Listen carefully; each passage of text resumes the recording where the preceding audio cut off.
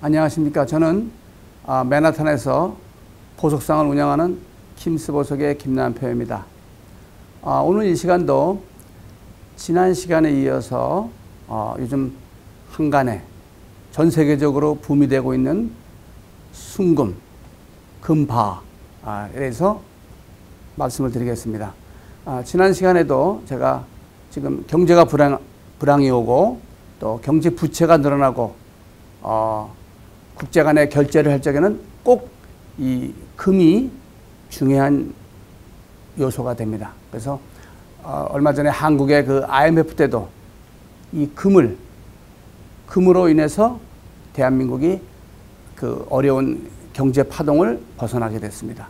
왜냐하면 이 국제 유통이 달러나 금인데 그 한 국가가 어려울 때는 그 국가에 쓰는 화폐는 종이짝에 불과합니다.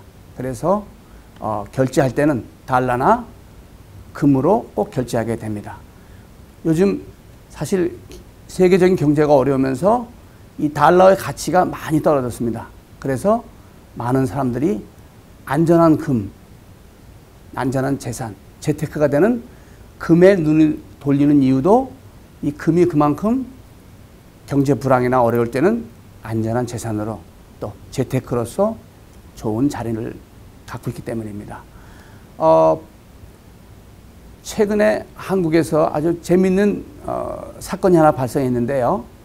어, 강남의 어느 집이 불이 났습니다. 불이 나서 화재가 일어났는데 그 화재를 다 진압하고 난 후에 어, 그 집을 다시 재건축하게 됐는데 어, 재건축을 하다가 그 불난 그 안에 방에 그 북박이 장롱에서 그걸 헐다가 바닥에 이상한 큰 물체가 있는 것을 발견하게 됩니다. 이 공사 인테리어 업체는 그것을 파보니까 그 신문지에 둘둘 말린 커다란 이런 금 덩어리가 나온 거예요. 이거보다 훨씬 더 큰 건데요. 아마 1kg 아, 봐야 되는 금이 무려 130개나 나왔습니다. 공사하던 인부들이 깜짝을 놀랐, 깜짝 놀랐습니다. 이거는 불이 나서 그 땅 속에 누가 묻어놓은 거를 그 공사하다가 나온 거예요. 그래서 이 공사하는 사람들이 입을 막기 위해서 몇몇 사람이 금 한 덩어리씩을 주고 모른 채 비밀로 하자고 했습니다.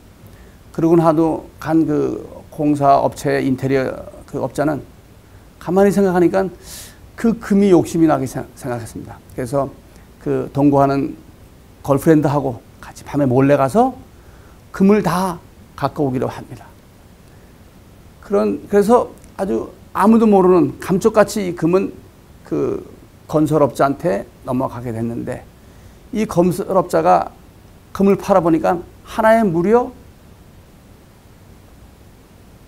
4억 원 정도를 받게 된 겁니다. 그러니까 이 사람이 욕심이 나서 그 금을 가지고 몰래 다른 여자친구하고 도망칩니다. 그래서 그 금을 같이 했던 그 걸프렌드가 심부름 센터에 신고를 하게 됩니다. 자기 잃어버린 남자친구를 찾아달라고. 그런데 그 수상하게 여긴 그 심부름 센터에서 경찰서에 신고해서 이 남자가 잡히게 됩니다. 무려 금바가 130개나 들어간 거의 한국 돈으로 65억 원이나 되는 값어치입니다. 어느 그 재력가가 아, 그 증권이나 부동산에서 돈을 많이 번 후에 이 사람은 생각했습니다. 세상에 믿을 것은 금밖에 없다는 것을 알고 금을 그 북박이 장롱 땅 밑에다가 묻어놓은 겁니다. 그래서 후에 어, 금값이 오르면 팔 거다고 생각했는데 이 재력가는 치매가 와서 죽게 되는데 그것을 가족한테 알리지 못하고 죽게 됐습니다. 그런 중에 이 건축업자가 금을 강취하다가 잡혔는데요.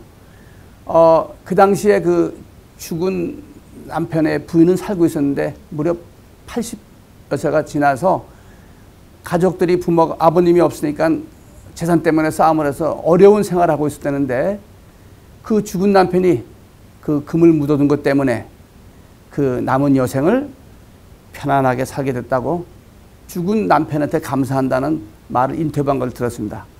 그만큼 금은 어려울 적에 또 생활이 힘들 적에 황금성이 되고 재산이 되는 안전한 재산이 돼서 오늘 그 최근 한국에서 그 장롱 속에 감춰져 있던 130개의 그 금바에 대해서 말씀을 드렸습니다.